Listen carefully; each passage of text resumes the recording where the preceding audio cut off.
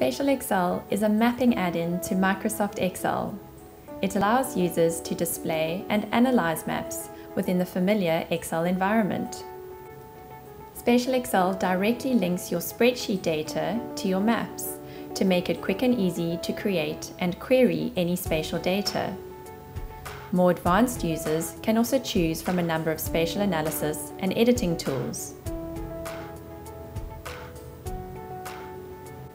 SpatialXL is currently being used in many industries, including retail, insurance, logistics, market research, engineering, mining, telecommunication, and government. We will now take a look at some of the main features of SpatialXL. Spatial Excel works with a number of different layer data types.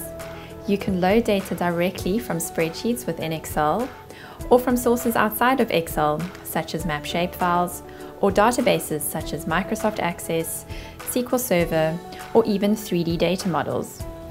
To add spreadsheet data to your map, you will need columns with coordinate data. If you don't have coordinates, you can use our LocateXL add-in to geocode coordinates from your street addresses. To add the spreadsheet to my map, I click the Add Excel Layer button and this will add my data as a new layer to my map. There is now a direct link between my layer and my spreadsheet. If I make any changes or add any further data to my spreadsheet, I can immediately update my map by clicking on the refresh buttons. I can also choose to add different background layers, for example Google Maps, Bing satellite imagery, or open source data for working offline. I can use my map navigation tools to quickly zoom to an area on my map, right down to street level. I can also add any shapefile or existing map layers from outside of Excel. As an example, I have added my administrative boundaries and some population census data. We will now take a look at how you can use SpatialXL to work with your map data layers. Once you have added a spreadsheet as a map layer in SpatialXL, any filters that you do in your spreadsheet will also filter and display on your map.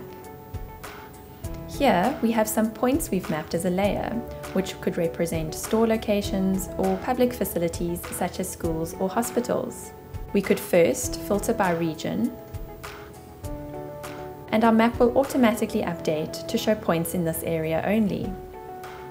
We can quickly zoom to this area using the map navigation tools.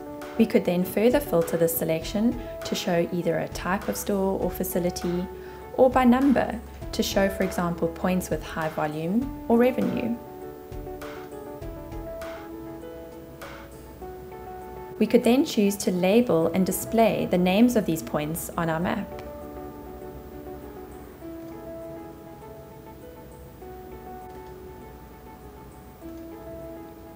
To display all our points, we can simply clear the filter and zoom back out. We can also pivot or group our data and link this directly to a map layer. Here we have grouped our data by region and we've linked it to our maps to display and label the total number of points per region. As we make any changes to our pivot tables, for example to show only our shopping centre numbers, the maps will automatically update to display the new numbers. You can group your data to any map layer that you have open in SpatialXL. You can choose from a selection of map themes or heat maps to display your data in SpatialXL. Map themes can be created on any column you have in your spreadsheet or in your map layer. You can choose to theme by color category or by number ranges. You can also theme by point size or by image to display logos or icons on your map. You can display your data trended over time or create heat maps to display clusters or hotspots. Any maps that you create in SpatialXL can be printed from the report designer, exported as image, or copied and pasted into another program. SpatialXL has a number of map selection tools that you can use to do locational queries between your map and your spreadsheet. you can use the Inspector tool to select and view information for any feature on your map. Information on this feature will populate within your Inspector toolbox, and you can click on the Select in Excel button to highlight this particular record in your spreadsheet. You can also use the Excel selection tools to locate records from your spreadsheet on your map. You can do this for a single record or for multiple records. To do a selection on more than one feature, you can choose from the square, the radius, or the area selection tools.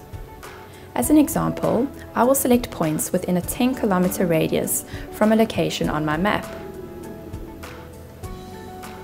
This will highlight points within the radius and it will give me a count of the total number of points in my ribbon. I can then click on the Select in Excel button to highlight these records in my spreadsheet.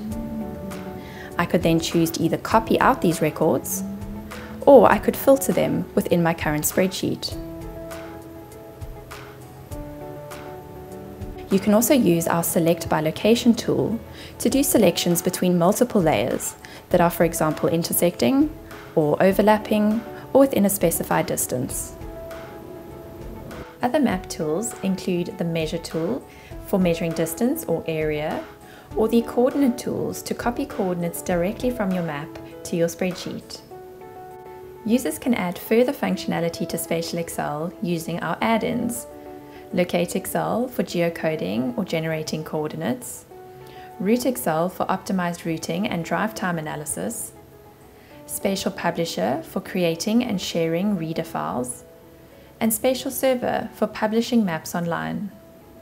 Thank you for watching our video demonstration. Please feel free to contact us with any queries or to request an evaluation.